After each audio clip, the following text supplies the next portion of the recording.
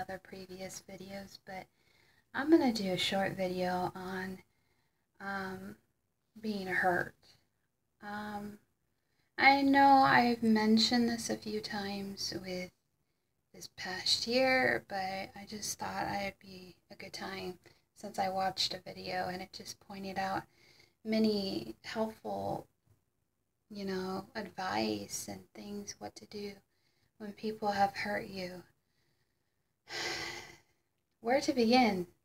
Um, I'm not trying to focus on the negatives that have happened in my life. I'm just trying to help people that are going through similar situations. And, you know, it, it gets tough when people have dramatically hurt you and used you and abused you, whether it's psychologically abuse, mentally, physically. And it's like, how do you get past that?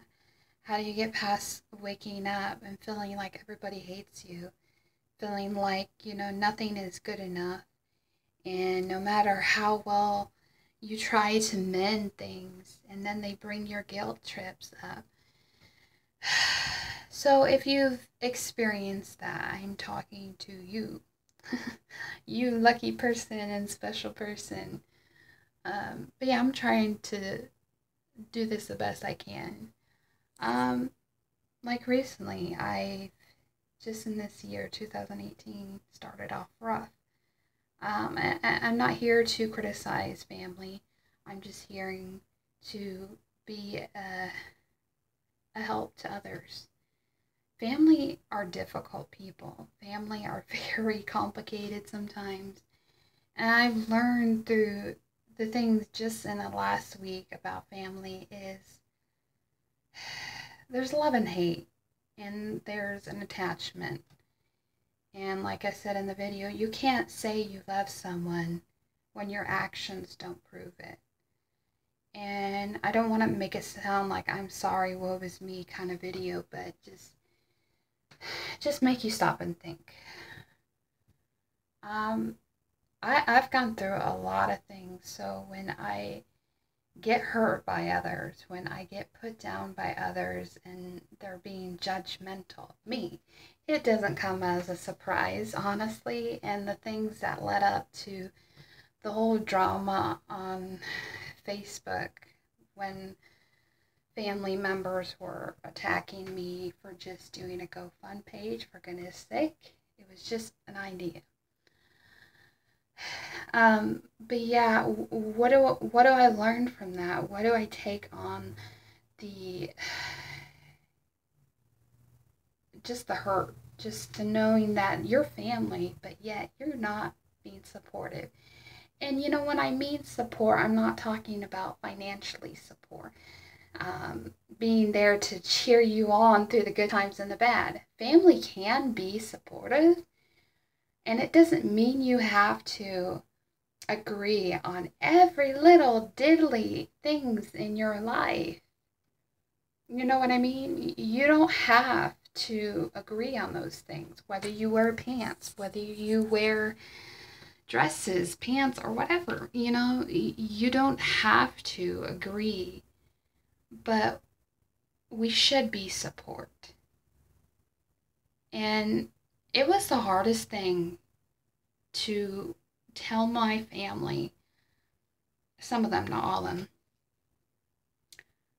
I cannot be friends with you. I'm not saying for the social media. I, I can't have you in my life if you're going to cause havoc, if you're going to cause drama.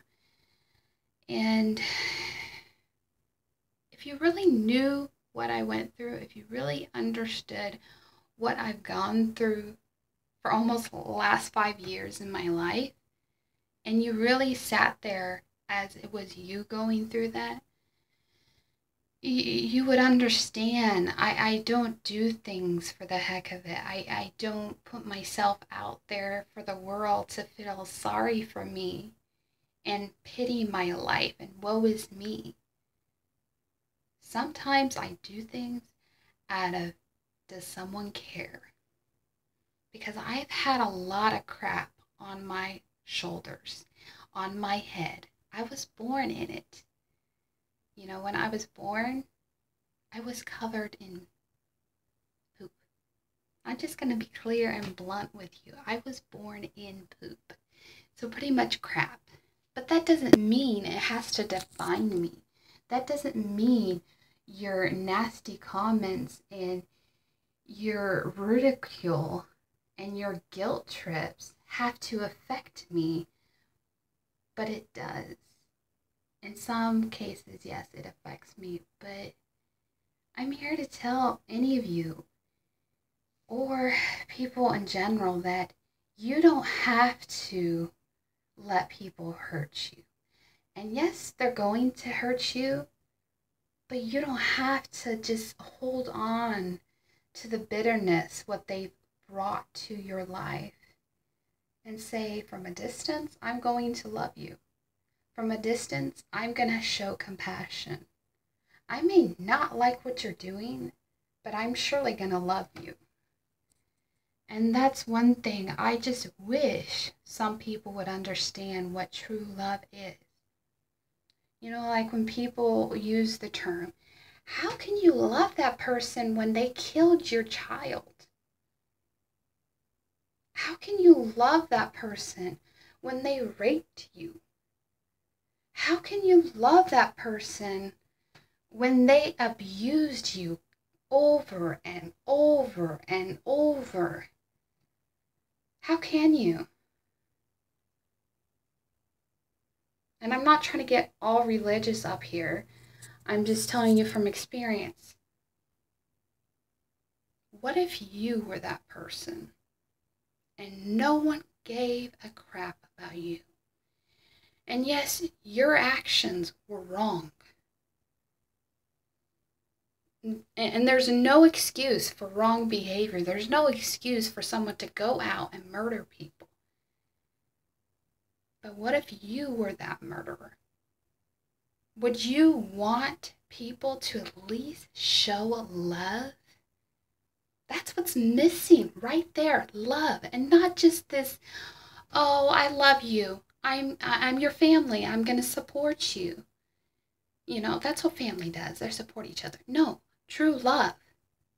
When I am being mean to you, when I am being a jerk to you, when you feel like I did you wrong, you love me still. And not just use it half heartedly. I heard that crap. I'm over that. But love me when I'm being selfish. Love me when I'm being an idiot. And I'm here to tell you if you feel like I've mistreated you, if you feel like I did you wrong, I'm sorry. But you know what? That does not give me the right to not forgive you. That doesn't give me the right to be bitter at you, but to love you. Because if you were in my shoes, wouldn't you want that at least? is love. But you don't have to accept their behavior. Just love them for Pete's sake. That's what we need. That's what's going to change humanity's ideas.